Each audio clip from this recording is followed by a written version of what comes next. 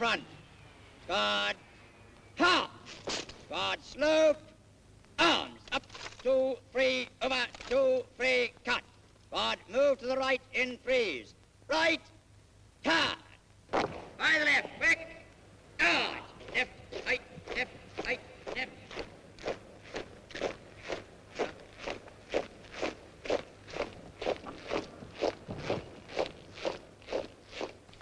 This is Britannia Royal Naval College, Dartmouth, the place where you will spend two years if you're going to be a naval officer.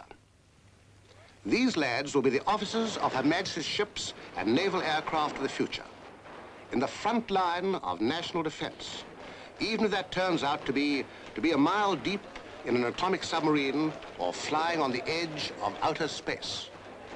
About the only thing a cadet has to provide for himself is a toothbrush. Otherwise, the Navy does everything and pays him. 10. Calm.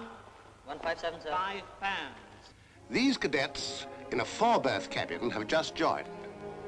After doing their sea time, they will become midshipmen. That is, they will wear a small white square on their lapels, join the gunroom or midshipman's mess, and have a cabin to themselves. And of course, there's an academic side to Dartmouth. This lecturer is demonstrating the principle of a gyroscopic compass, using a, a weighted bicycle wheel and a member of his audience.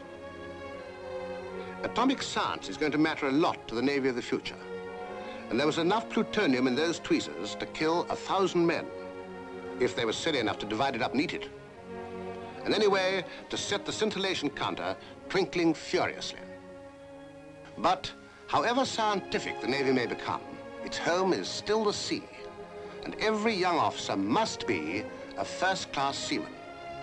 So before he gets any practical training in a warship, he has to learn from models, just as, just as I did in my day. The model is of an estuary, the sort you will meet in later life. In these lectures, the cadets learn all about that vital rule of the road at sea and how to obey it in every kind of vessel from a warship to the useful but rather unromantic cutters and the lively fireflies maintained at Dartmouth specially for them.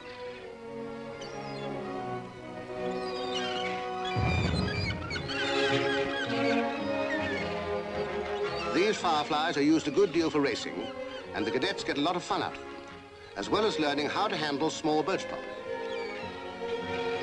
And, of course, how not to.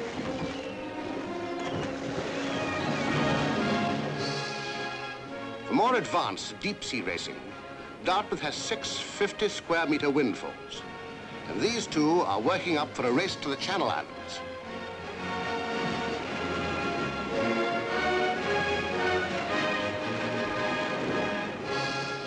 These yachts can get a, a nasty beating in a channel gale. But then, well, if you don't like the sea, it's no good being a sailor.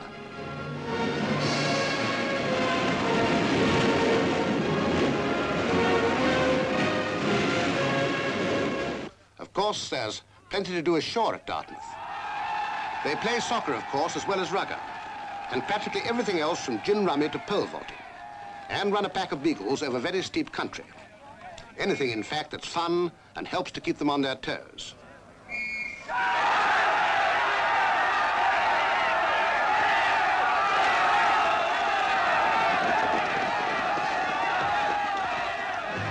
A handy turn of speed on the football field has another use as cadets jump to an order to man a four-inch gun director, training on an aerial target up the River Dart.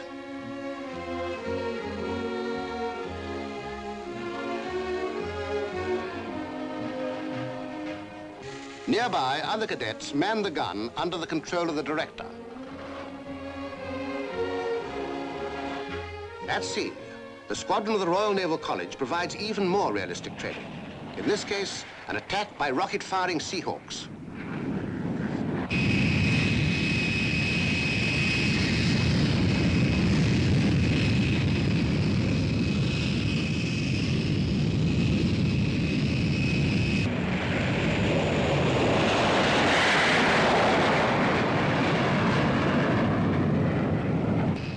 Stand by for rocket attack on Vigilant and Carron.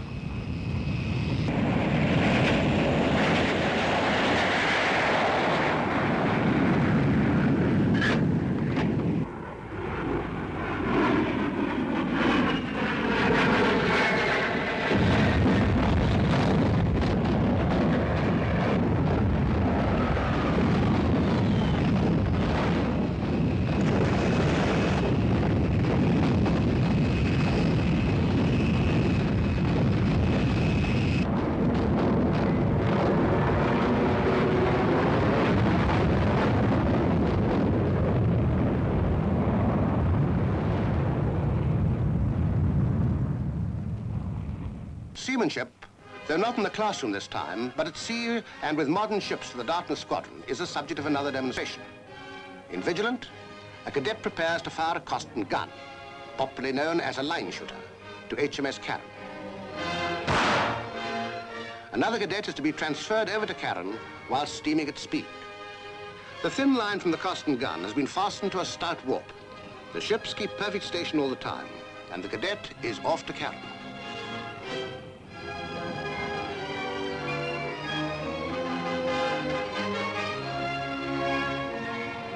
The two ships must keep the same distance apart.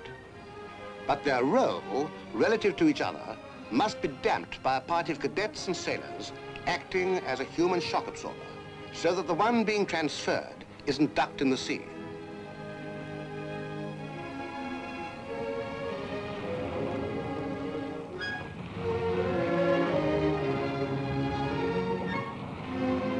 This might be one spectacular way of falling into the drink, but there are plenty of others.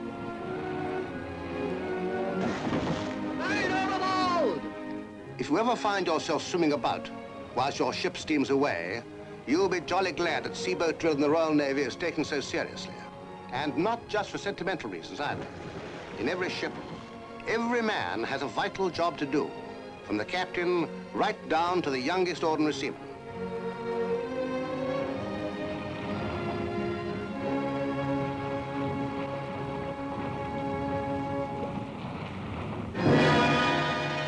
Submarines, at any time a powerful weapon, and in enemy hands a special danger to the lifelines of our islands.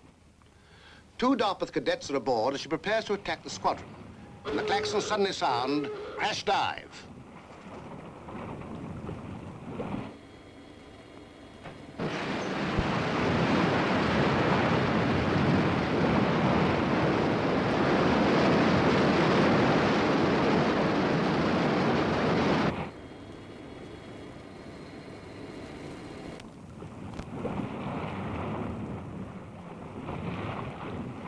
Up periscope. And the captain, a veteran submariner of 27, checks the position of the Dartmouth squadron before handing over for a minute to one of the cadets. Now, only the periscope is left showing above the sea, and the fate of the squadron lies with its anti-submarine defenses. And very effective defenses they are, as you will see.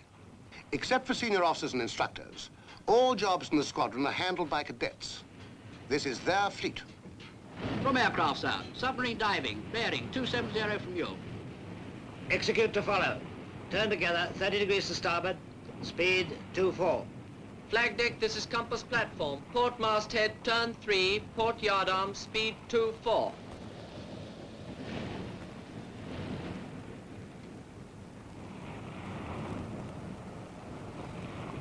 Ready to execute, sir. Execute. Starboard 15, revolutions 228.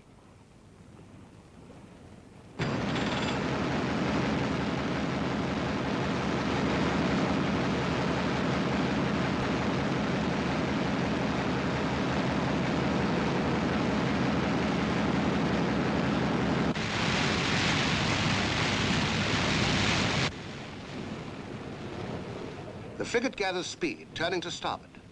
If the cadets in the Asdic control room pick up an echo from the submarine, we shall see the Navy's devastating anti-submarine mortar go to work.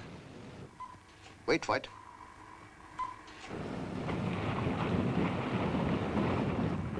Echo classified submarine. And there it is.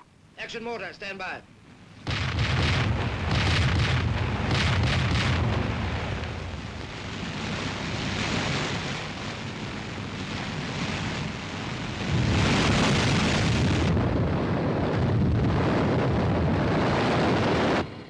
It's a tense moment in the submarine, even though the frigate is keeping safe distance. The mortar is not something to take liberties with.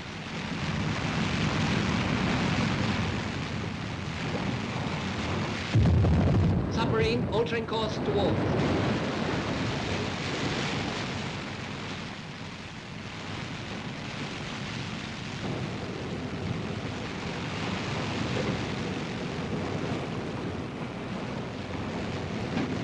surfacing on the port quarter, sir.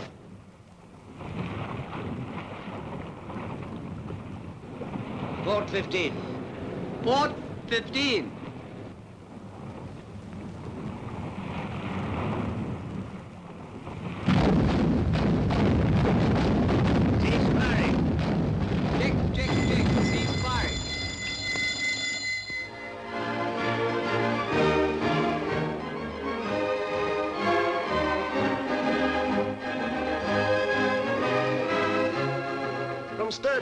Sturdy to Captain D, sir.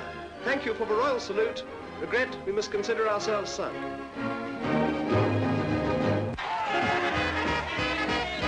This is Billiard Fives, a sort of indoor rugger match requiring a billiard table and a convivial atmosphere.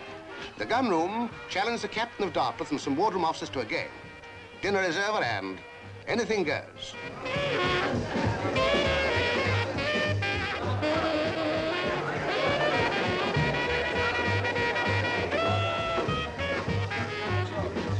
Hosts this evening are senior midshipmen, and most of them have been selected for their chosen specializations. Seamen, engineering, supply and secretariat. The electrical chaps already gone to university, and some are going to become pilots.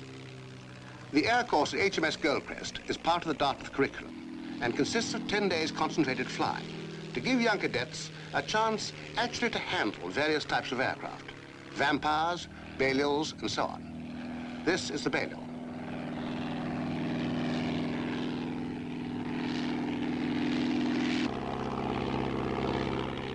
Before coming into land, the instructor, a prudent man with a long experience of cadets, takes over himself and down they come onto the runway.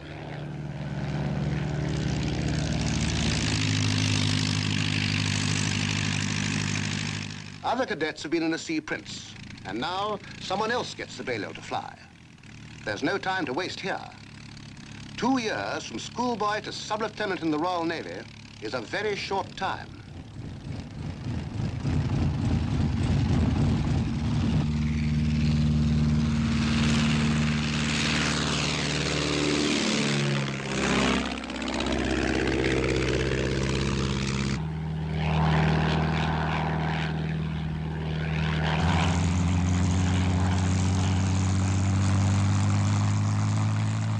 The Navy has to be at home in all elements and in at least three dimensions.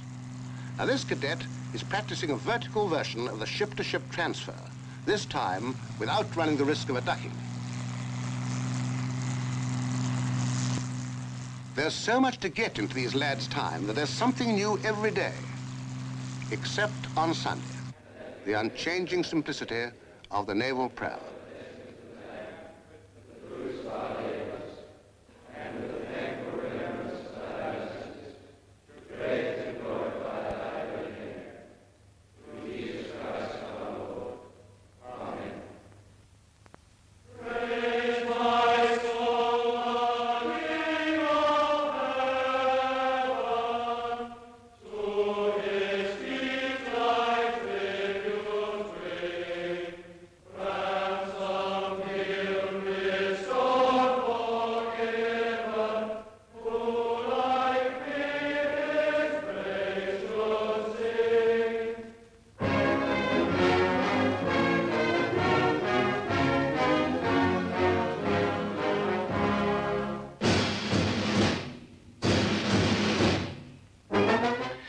Navy, the appearance of the Royal Marines Band is an infallible sign of ceremonial in the offing.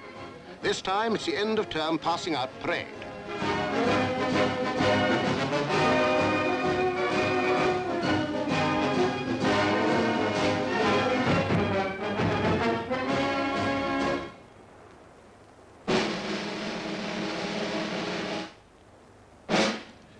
On these occasions, the salute is always taken by a very senior naval officer. And this is a rather red letter day for the cadets who march past one of Dartmouth's most distinguished sons, Admiral of the Fleet, the Earl Mountbatten of Burma. Parade will march past. Guard leading.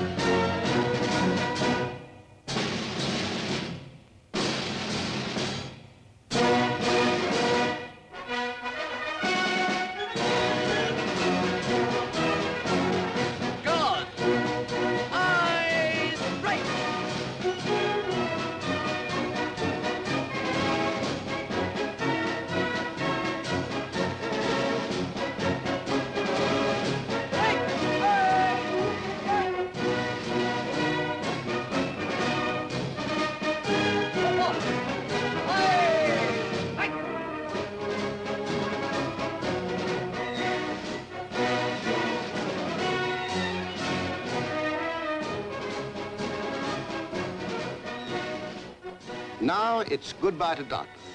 The days of training are over, and ahead lies, well, who knows what.